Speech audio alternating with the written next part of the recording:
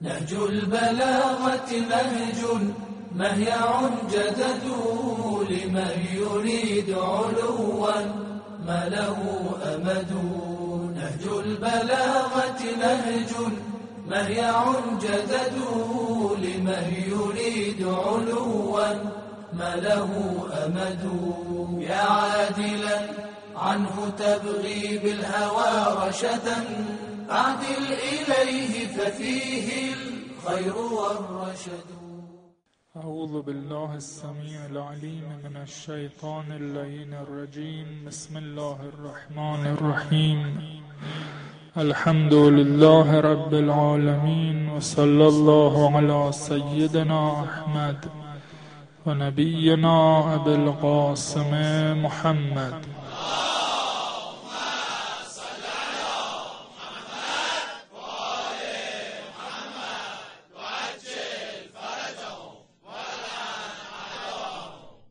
وعلى أهل بيته العتيبين الأنجبين الهداة المهديين.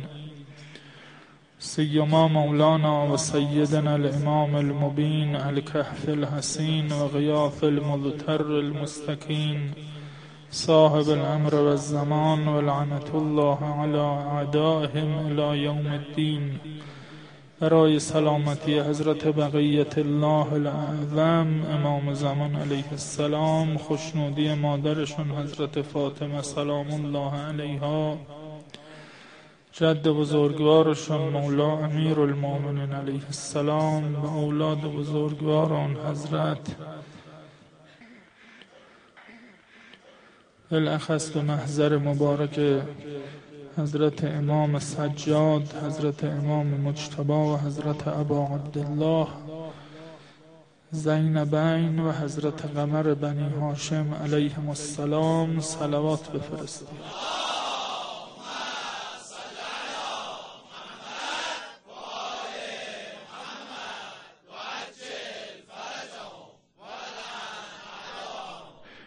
عرائز ما در رابطه با جمله ای از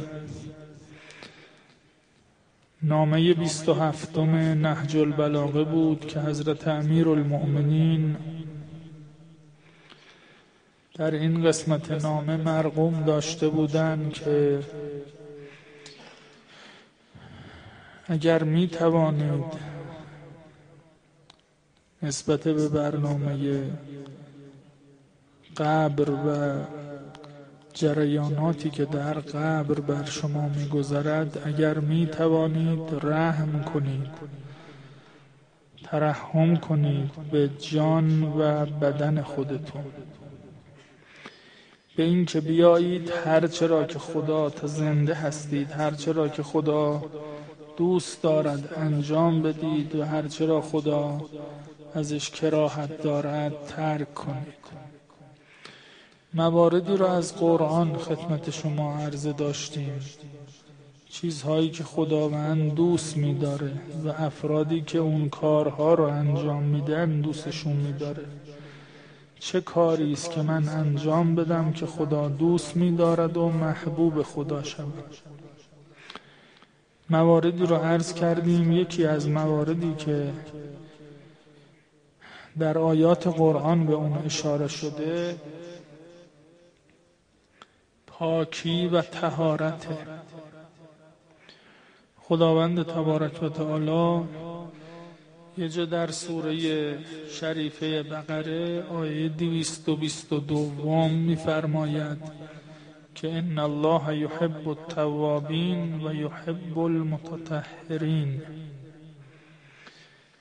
خدا دوست می‌دارد آدمایی که پاکی طلبند. خداشون می‌خوان پاک باشن. میرن دنبال اینکه پاک بشوند و پاک بمانند.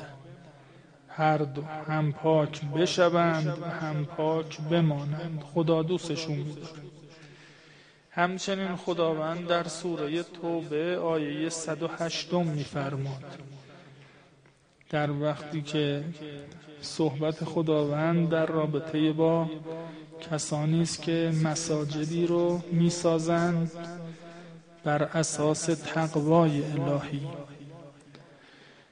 که اشاره به جریان ساخت مسجد النبی هست که پیغمبر دستور فرمودند و مسلمون ها جمع شدند و همون اول با یه خلوص نیت فوقلاده ای اینا این مسجد رو بنا کردند.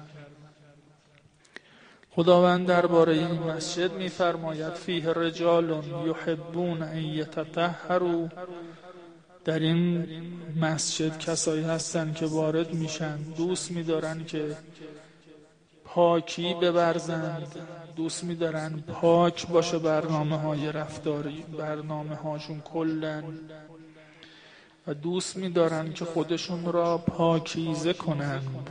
با ورود به این مسجد و برنامه هایی که حالا در این مسجد انجام می شود والله یحب المتحرین خداوندم دوست می دارد این آدمایی که دنبال پاکی هند برنامه هاشون طور عمل می شود که پاک باشد. سعی می کنند که برنامه ها پاک باشد اون جاوایی هم که کم بودی هست برطرفش کنند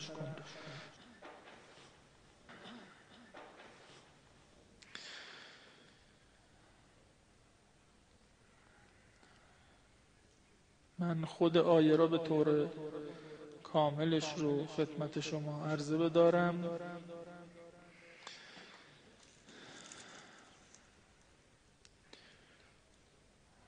لمسجد اسس علی التقوی آیه 108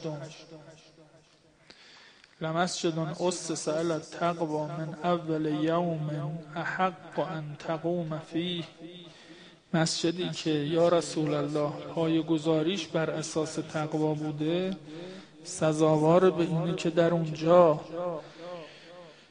برنامه هایی که شما میخوایی اقامه کنی اونجا باشی. فیه رجال در این مسجد کسانی هستند مردانی هستند یحبون ان یتطهروا. دلشون می‌خواد پاک و پاکیزه باشند پاکی بورزند و پاک بشوند. والله یحب المطهرین. خدا انسانهایی که دنبال چنین چیزی هستند رو دوست میدارد. یکی از چیزهایی که موجب میشه که برنامه قبر ما که هیچ فراری از آن نیست به راحتی برگزار شود اینه که ما همین برنامه رو داشته باشیم. پاکی را دوست بداریم دنبال پاک بودن باشیم و ضمنا اگر مشکلی جایی پیش آمده است برطرفش کنیم تا پاک شویم. ما یه پاکی های ظاهری داریم یه پاکی های باطنی داریم. قطعا و مسلما چنین است. خداوند تبارک و تعالی که ما را دو بعدی آفریده بعد معنوی و بعد مادی داریم و اینها هر کدام رو هم تأثیر می‌گذارد. بعد معنوی ما رو بعد مادی ما و بالعکس تأثیر می‌گذارد. یعنی بعد مادی و ظاهری ما رو بعد معنوی ما اثر می‌گذارد.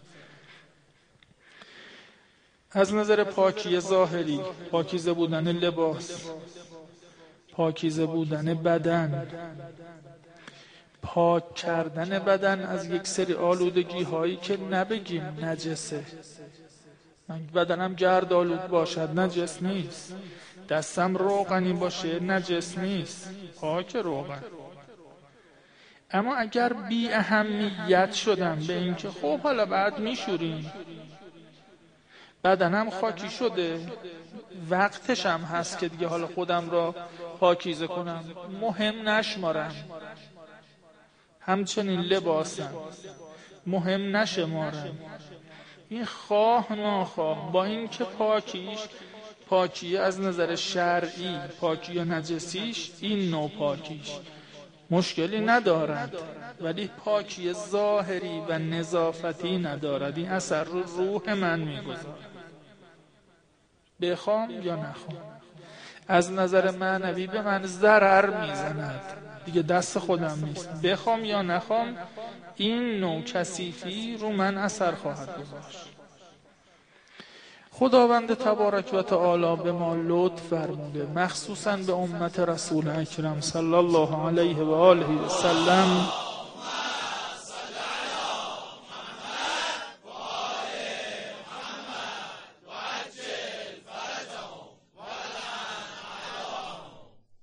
که چیزهایی را اومد قرار داد برای اینکه ما از این ناپاکی های ظاهری بیان بیرون؟ از آن جمله که حالا وسعت بیشتری دارد تو پاک کردن آب از آن جمله خورشید از آن جمله خاک از آن جمله تو عملیات های شیمیایی مثل استحاله و غیره. چیزایی که تو اول رساله هم هست به عنوان پاک کننده ها علماء بزرگوار ما در اول رساله هاشون ذکر کردن و مسائلشو گفتن که البته عرض می‌کنم آب وسعت بیشتری دارد از نظر پاک کنندگی بقیهش شرایط خاص خودش هست. خداوند خواسته اینا رو که قرار داده است برای ما تمام برنامه های بشر عرض کردیم چنین است که دو جنبه داره. هم معنوی هم مادی. که این چیزای ظاهری بیاد ناپاکی های ظاهری ما را از بین ببرد و موجب شود که پاکی باطنی برای ما به وجود بیاد. پس عرض کردیم یه پاکی داریم در مقابل کثیفی یه پاکی داریم در مقابل نجس بودن. این دومی دیگه اهمیتش خیلی بیشتره. تا اون جایی که اگر بدن من آلوده به نجاستی باشد الا یک مورد که خون اونم به اندازه کمتر از یه درهم که حالا میشه تقریبا دو ریالیای ما اونم خون خالص. نه اینکه خون باشد و بعدا مثلا آب بش بپاشه. این نه فقط خود خون باشد. اگر در این حد باشد به من فقط اجازه میدن باش نماز بخوانم. نه پاک با. این مسئله رو خیلی ها اشتباه می‌کنند. خون به اندازه سر سوزن هم نجس است. اینا حواسمون باشه؟ اما اگر به اندازه تا یه دوریالی باشه به آبش نرسیده باشد و چیزای دیگه که رطوبتش باش مخلوط نشده باشد میشه فقط باش نماز خون. اونم خون عادی بدن ما. خونی که مورد غسل باید برای خیلی عوض می‌خوام فقط اشارتا عرض می‌کنم دیگه مسئله شرعیه. برای مخدرات هست که باید نسبت بهش غسل کنن اون خون نجاستش به مانند اجلکم الله بول هست. یعنی هم آب کشیدنش بیش از خون عادی باید رعایت بشه یعنی حد اقل با دو مرتبه آب قلیل حد اقل باید آب کشیده شه و سه مرتبهش احتیاطه. هم با سر سوزنیش نمیشه نماز خوند. یعنی اگر خون عادی را میشه باش نماز خون تا به حد دوریالی برسه مثلا با اون خون سر سوزنش مثل بول میماند که نمیشه باش نماز خون.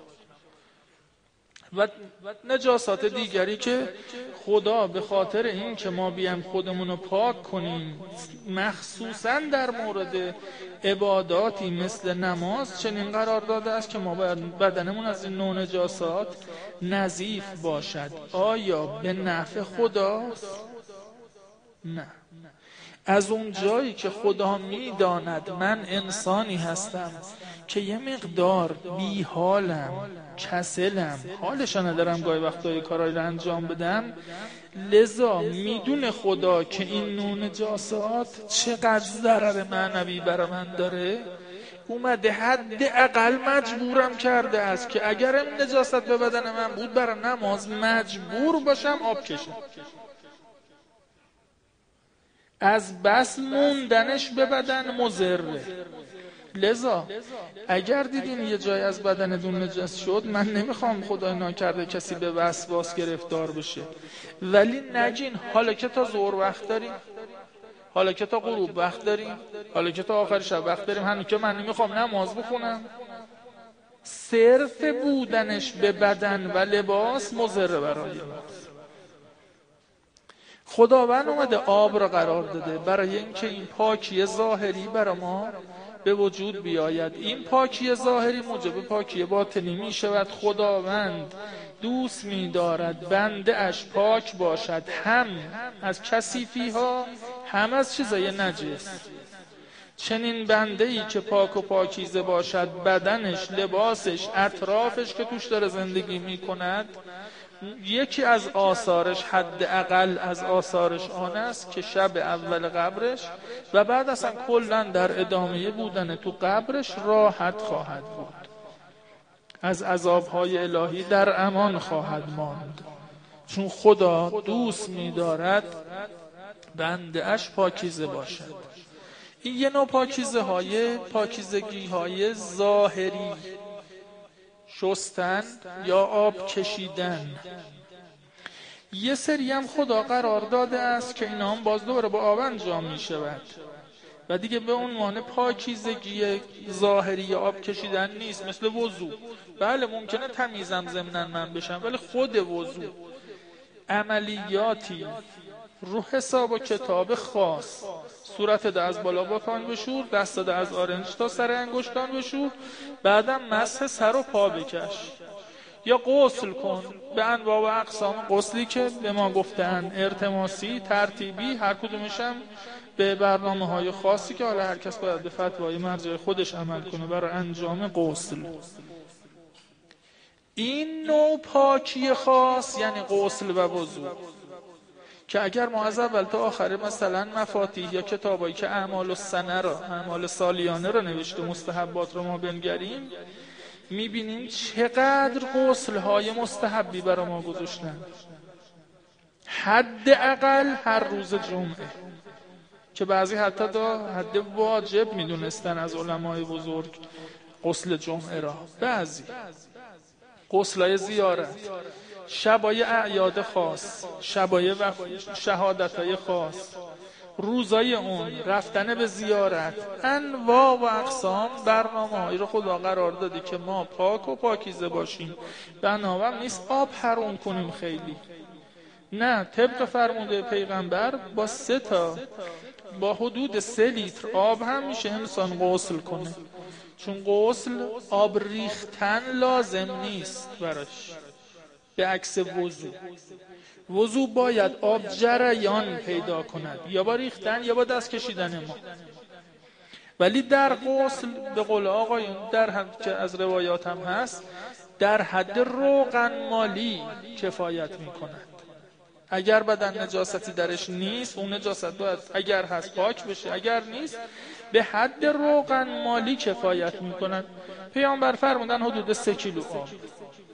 تقریبا سه لیتر آب پس نوع وضوع و غسل حالا چه واجبش چه مستحبش که مستحباتش بسیار زیاده تعدادش. وضوهایی که برای نماز ما باید بگیریم خب میشه وضوی واجب وضوهای مستحب مثل وضویی که ما قبل از خواب اگر بگیریم. که تبدیل می شود کسی که طبق روایت بیاد وضو بگیره قبل از خواب خوابگاه او به عنوان مسجد براش خواهد بود به عنوان عبادتگاه. تا صبح براش عبادت می نویسن اگر تو این خوابی که وضو گرفته و خوابیده است از دنیا بره به منزله شهید خواهد بود. اینقدر خداوند روی تهارت های این چنینی عنایت دارد. تهارتی که در ظاهر من دارم انجام میدم ولی در باطن من اثر می‌گذارد. یه سری موارد دیگری هم از تهارت های باطنی رو عرض کنم که به چه واسطه به وجود میاد. یه سری نجاسات باطنی ما داریم که اونام هم تهارت باطنی خودش رو می‌خواد. از اون جمله بدترین نشو من یه مورد عرض می‌کنم. از نجاسات باطنی حسده. امیر المومنین میفرمان طهروا قلوبکم من الحسد. نجس می‌کنه قلب شما را حسد. بیان پاکش کنید از حسد. تهارت بش بدید. حالا با برنامه هایی که هست و گفته شده که چگونه آدم تا حدی حسد را از خودش بیرون ببره و از خدا هم بخواهد که او را پاک کنه از این. گناه و از این نکبت و نجاست اخلاقی. از مواردی که باید ما در تهارت باطنی ازش کمک بگیریم توبه است. توبه موجب تهارت باطنی میشه. یک سری از وقتهایی پیش میاد که انسان تهارت می‌خواد داشته باشه. پایش جور نمیشه. خدا این بند داره دوستش میداره. یه سری گناهانی ممکنه کرده باشد و فراموش کرده باشه. خدا دوست میداره بندش رو پاک کند. چگونه این کار رو می‌کنه؟ امام صادق میفرمان لله فسراء نعمت و تفضل خدا در خوشی و در راحتی اینا نعمتی به صورت تفضلی به بندگانش عنایت می‌کنه. نه اینکه مستحق باشن اونها. از تفضل و لطف خودش از فضل خودش به آنها می‌دهد. و فی نعمت و تطهر اگر بندش را در سختی مریضی مشکلی قرار داد خدا می‌خواد او را پاکش کنه تهارت باطنی برای او به وجود بیاورد. پاک و پاکیزه بشه. از موارد دیگری که هست زیارت اهل بیت علیهم السلام. که موجب تهارت باطنی ما میشه. خدا کسی رو که بره زیارت و دلش می‌خواد پاک بشود خدا این آدم رو دوست دارد و پاکش می‌کنه. خصوصا با دو تا زیارت از بین ائمه ما علیهم السلام که روایات بیشتری دربارش هست. یکی زیارت حضرت سید الشهدا یکی زیارت حضرت امام هشتم سلام الله و صلواته علیه ما.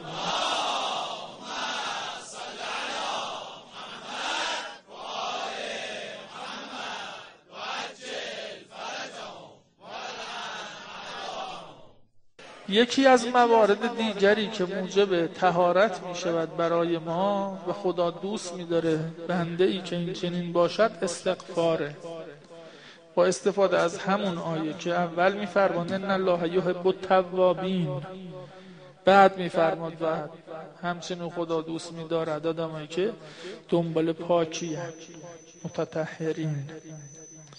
که این توبه و این استغفار موجب تهارت باطنی میشه. از موارد دیگری که موجب تهارت باطنی انسان می شود برای کسانی که با وضوع طبق فرموده امام صادق سلام الله علیه با وضوع وارد مسجد بشن.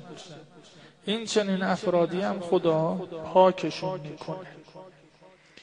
و از موارد دیگری که موجب پاکی ما می شود الله در زیارت جامعه بهش اشاره میشه. و جعل صلواتنا علیکم و ما خصنا به من ولایتکم تیبا لخلقنا و تهارتا لانفسنا.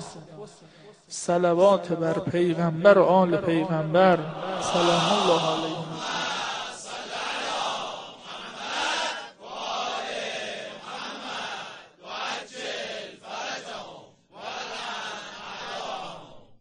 یکی از چند اثری که دارد که تو همین قسمت از زیارت بیان میشه یکیش هم اینه که تهارتا لانفسنا جان ما رو پاک می‌کند. کسی که می‌خواد خداوند پاکی به اون عنایت کند پاکی باطنی پاکی ظاهری باید رعایت کنه. از نظر نظافتی پاکی نجس و پاکی باید رعایت کنه. غسل واجب نگذره به گردنش بمونه. به مجردی غسل به گردنش آمد. همون وقت انجام بده. نگه حالا وقت دارم. دائم الوضوع باشد. خصوصا مولا امیر میفرمان هنگام خواب تو حالا موارد مستحبیش. یه مورد دیگری که عرض کردم پاکی مال. خدا میفرماد خذ من اموالهم صدقتا تزکیهم و تطهرهم تطهرهم و تزکیهم یا رسول الله مردم وقتی زکات بدن حالا زکات به طور عام یا خاص؟ وقتی که زکات مالشون بدهی واجب مال خودشون رو میدن موجب پاکی اونها میشه. تو با این کار اونها رو پاک می‌کنی. وقتی که اموالی که بهشون حق واجبی گرفته شده تو از اونا می‌گیری اونا رو پاک می‌کنیم این موارد رو وقتی ما رعایت کنیم به اضافه زیارت به اضافه صلوات بر پیغمبر و آل پیغمبر تازه میشیم آماده برای گرفتن یه پاکی خاصی که خود خدا میده. نه در حد پاکی اسمتی که به بعضی داده است. اما از همون آیات معلوم میشه خدا یه نوع پاکی خاصی را برای بعضی قرار میده. به حضرت مریم خطاب می‌کند توسط ملائکه ان الله استفاک و تحرک خدا تو را پاکت کرد. یا درباره اهل بیت علیهم السلام تو آیه تطهیر میفرماد خدا چنین برنامه قرار داده که شما را پاک و متحر کند. اونا در حد اونا اما در حد خود ما اگر ما قدمایی را برداشتیم یه پاکی خاصی از خدا برا ما می‌رسد. لطفی بهمون می‌کنه. نتیجهش؟ چیزایی را بهش می‌رسیم که افراد عادی نمی‌رسن این از کجا ما استفاده می‌کنیم؟ از این آیه از قرآن. انه لقرآن واقعه هفتاد نهم آیه هفتاد نهم انه لقرآن کریم فی کتاب مکنون لا یمسه الا المتحرون قرآن را فقط کسانی که متحرن از جانب خدا پاک شدند می توانند اون چیزی که باید ازش درک کنند درک می‌کنن که مخصوص این آیه فقط مخصوص چهارده نور مقدس علیه السلام است و بس. اما میشه این ازش درس گرفت که خدا یه سری فهمای خاص درکای خاص اینکه عقل من یه جاوایی برسه را گیر داده به اینکه من اون تهارت رو به وجود بیارم در خودم. اون عواملی که بود را رعایت کنن. بعدم لطف خدا شامل حال من بشه پاکی خاص را از جانب خدا بگیرم. اون وقت اون فهم و درک بر من به وجود میاد. یه سری پرده ها از جلوی چشم و گوش و عقل و فکر و فهم من کنار میره. اینا آثار تهارت است. خدا چنین بندگانی رو که دنبال پاکی هن سعی می‌کنن پاک بمانند و سعی می‌کنن اگر ناپاکی درشون اومده بیرون کنن مثل حسد و غیر از خودشون. خدا چنین بندگانی رو دوست میدارد و آثار دنیوی و اخروی برای اونا هست. من جمله حالا بحث ما در رابطه با قبر بود. در قبر کار اینا خیلی راحت خواهد بود. خدا به حق امیر علیه السلام این مسیر را بر همه ما آسان بگرداند.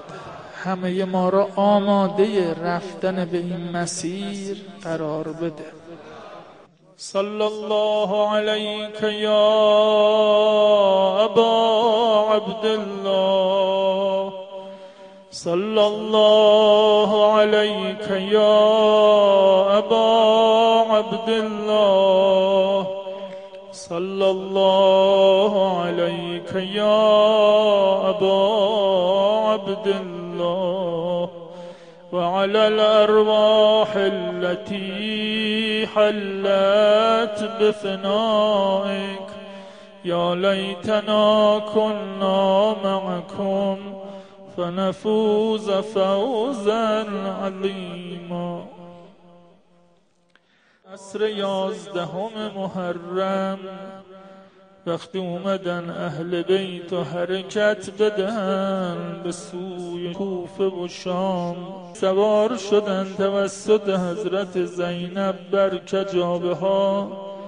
بعدم با اون جریان خاص خود بی بی سوار بر کجابه شدن. اما دشمن برا زین العابدین کجابه قرار نداد. کاری کردن که حضرت روی خود شطور بنشینن. خیلی موجب آزار و اذیت می‌شد. حضرت را سوار کردن. شدت تب داغدار بودن. حال حضرت خیلی بد بود. هم جسمن و هم روحن با اون صحنه هایی که دیده بودن.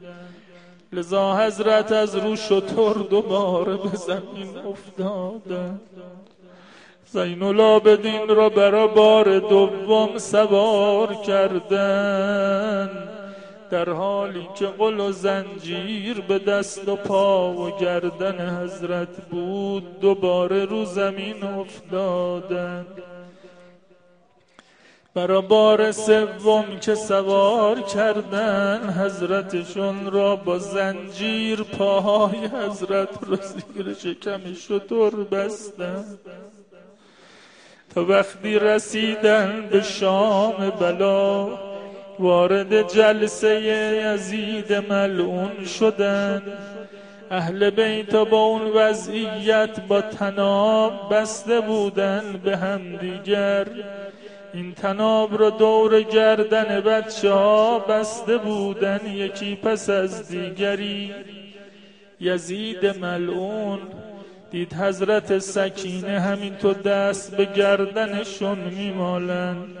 گفت دختر چه می شود تو را؟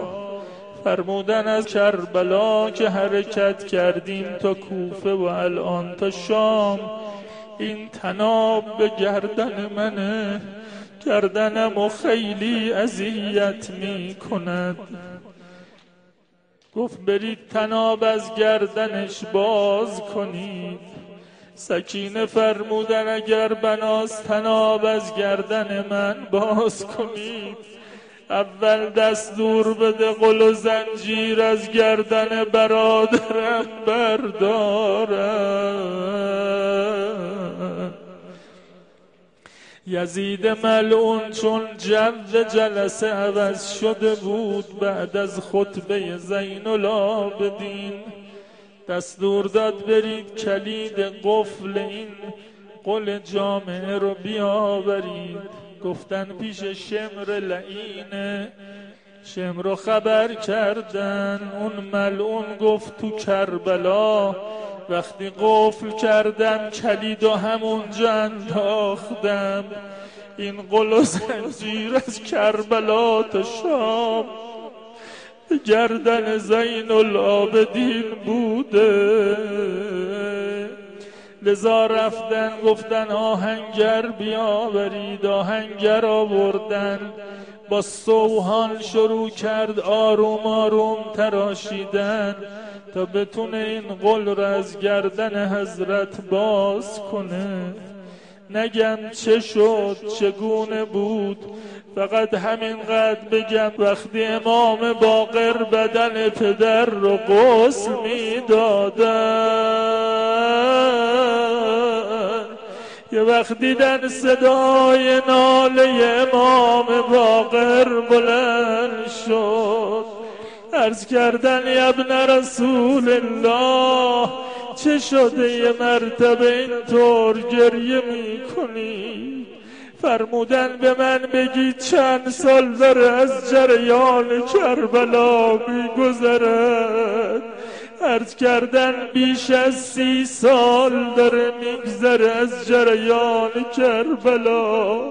آقا فرمودن بیان ببینید هنوز اثر قل جامعه به گردن و بدن پدرم. صلى الله عليكم يا أهل بيت النبوة. اللهم صل على محمد وآل محمد. اللهم لعن أول ظالم ظلم حق محمد وآل محمد وآخر تابع له. على ذلك اللهم لعن الإصابة التي جاهدت الحسين وشايعت وبايعت وتابعت على قتله. اللهم لعنهم جميعا اللهم عجل لوليك الفرج واكشف عن همه وغمه وهزمه واقض هواجه وحواج محبيه واشف مرضى من محبيه بجاه محمد وأهله.